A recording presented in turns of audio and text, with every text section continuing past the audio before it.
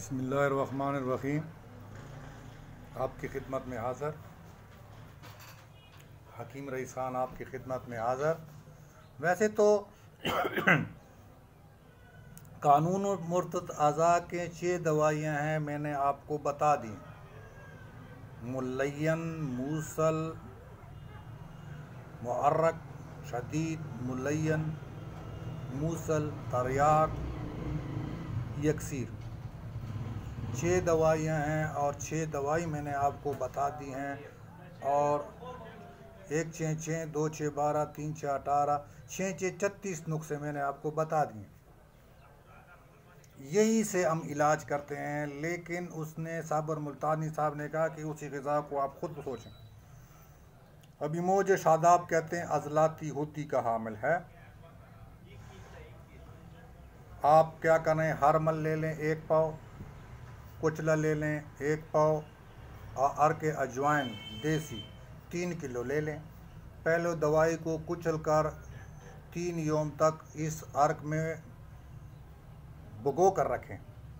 Pressure cooker میں دونوں اشیاء ڈال کر اس کا گلا رب کچلا بنائیں۔ سالاجید منقی، پانچ تولے، رب کچلا۔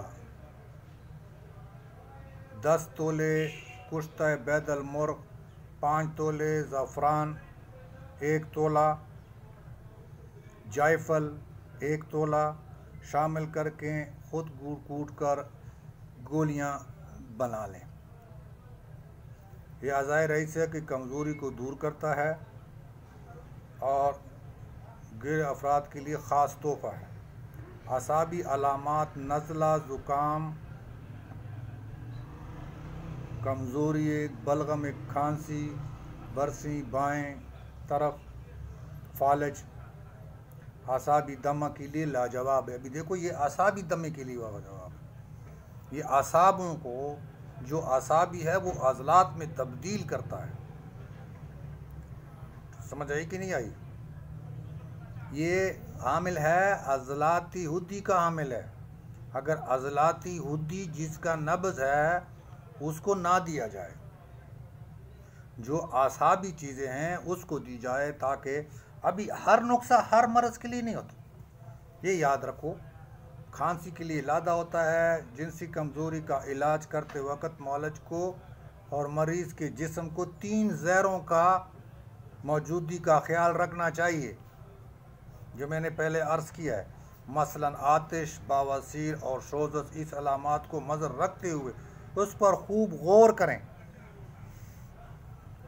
پھر جا کر اس کو علامات کو مد نظر رکھتے ہوئے مریض کا پیشاب دیکھیں، نبض دیکھیں اور غذا کے ماحول میں تصدیق کریں اور تلاش کریں۔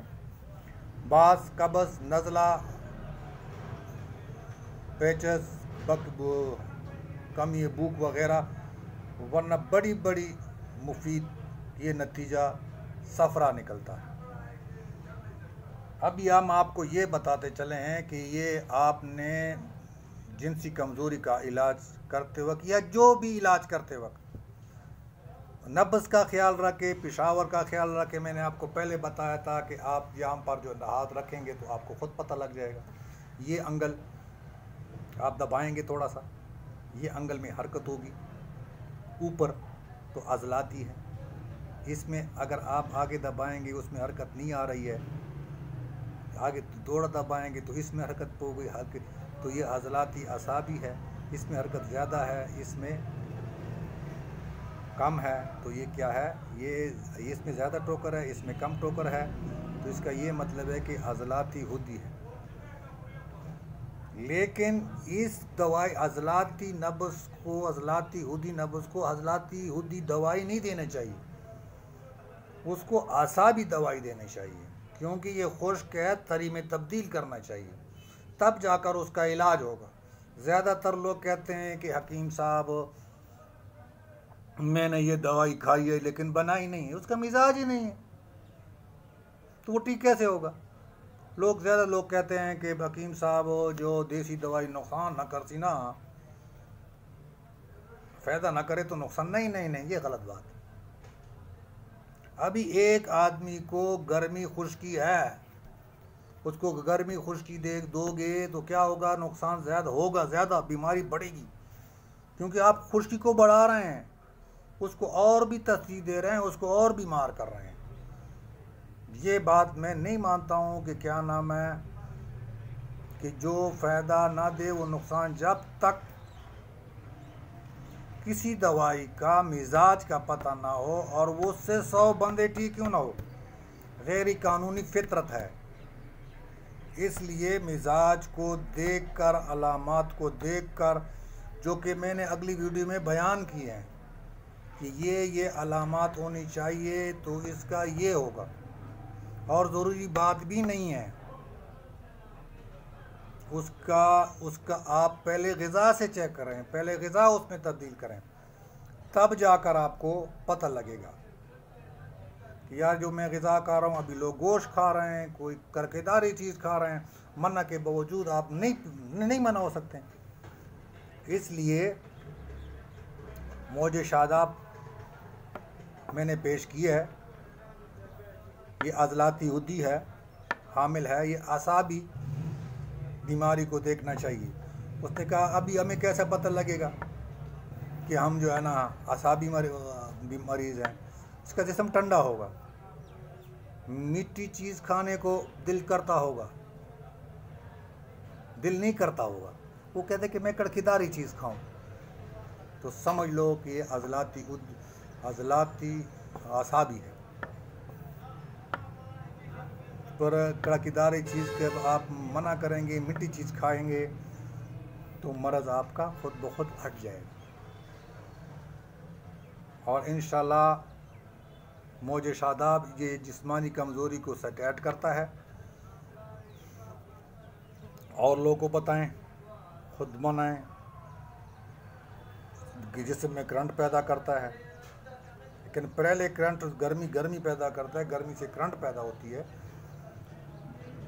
ابھی زیادہ گرمی اور زیادہ سردی زیادہ گرمی ہو پھر بھی زیادہ مسئلہ ہے، زیادہ سردی ہو جائے پھر بھی بڑا مسئلہ بن جاتا ہے۔